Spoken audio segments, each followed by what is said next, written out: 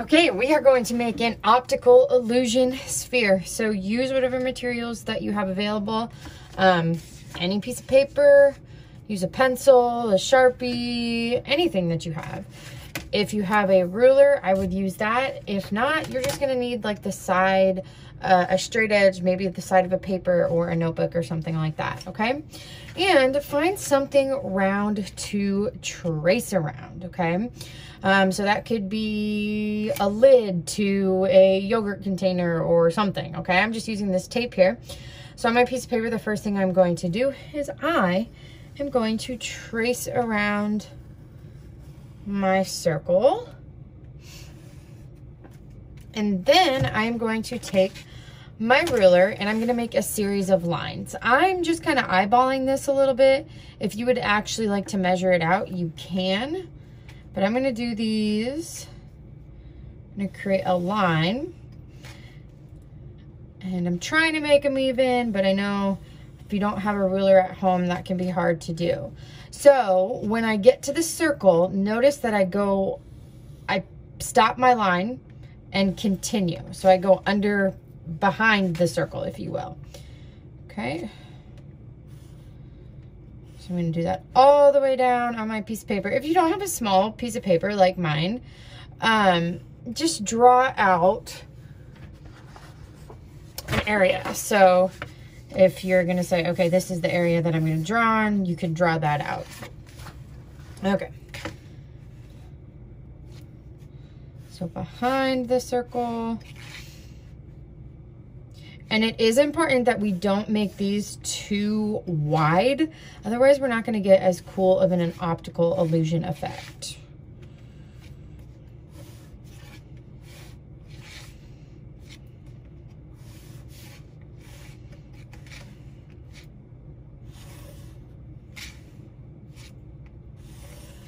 Okay, so now, after that one got a little uneven at the bottom there, that's okay. So now we're gonna do the same thing, but we're gonna have our lines going the other direction. So now it's gonna kind of start to create a checkerboard.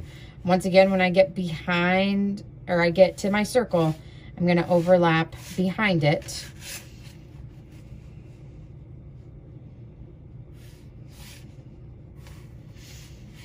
And like I said, if this matters to you to be perfect, measure out, kind of like we create a grid during our grid drawings. All right. Then I'm just gonna finish that up. Okay, so now I have all of these lines here. So in order to make this look more three-dimensional, what I am going to do is I'm first going to take this line and connect it to this line by curving it so that it matches this half, okay? And I'm gonna do the same thing with this line, curving it so it matches down here. This line here is actually gonna go straight down the middle, so I can just line up my ruler if I need to. Then I'm gonna do the same thing over here to the other side, except they're gonna curve the opposite way. So this line curves and connects down to that one. This one curves and connects and matches with this line. Okay, now we're gonna do the same thing with these lines, okay? So I have a really tiny line that matches up here. So we're gonna have a curved line, but notice it's super skinny. Then I'm gonna have another curved line. Okay, and it's important that these are curved enough with the outside of the circle. Okay, so this one's going to be curved again. And then this one is going to be my one that goes straight across. Okay, so now since I'm on this second half, these lines are going to curve down.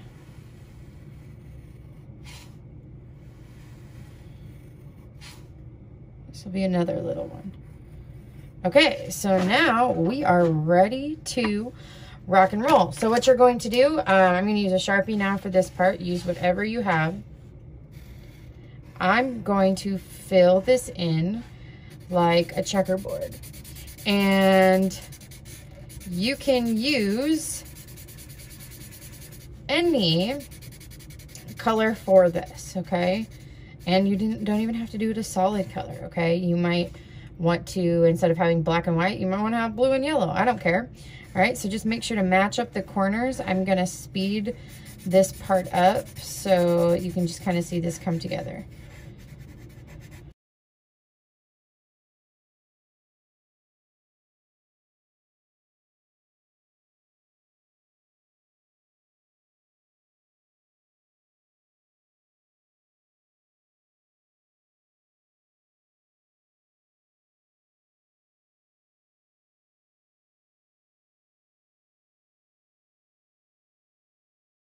Okay, so I'll finish filling these in later, but I just kind of wanted to show you how that would start to look. So it's starting to come together. You can tell that when I do that, it doesn't make it look entirely finished.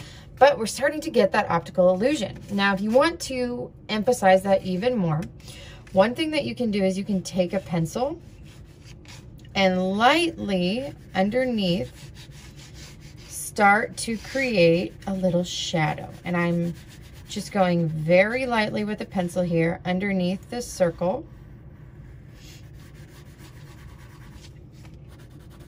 Keeping that pencil mark close together.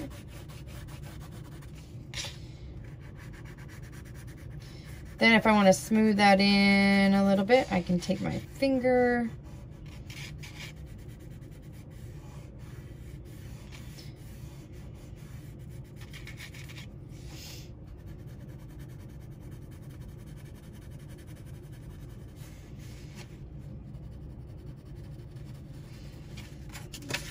getting a little texture here.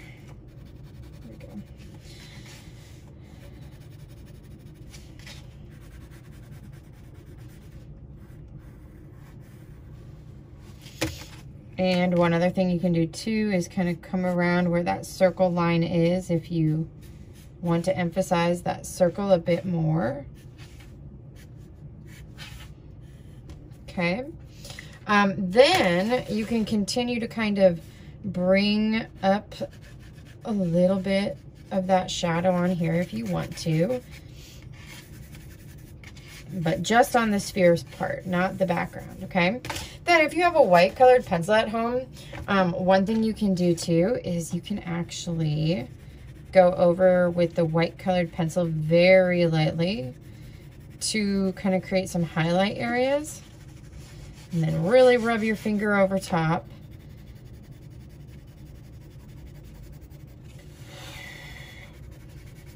and it's going to kind of create some highlight areas. So I can do that on a few of them just to kind of give us the look of more of a three dimensional optical illusion, okay? So do your best to fill that in to create, and remember, you can always go in and add some different colors and stuff too. Um, sometimes it's cool to actually go in and create a different background effect. It's, it's awesome to see how different when something isn't left white, how that can look. So if I filled in all of those white spaces with that, um, it's gonna have an entirely different look to it.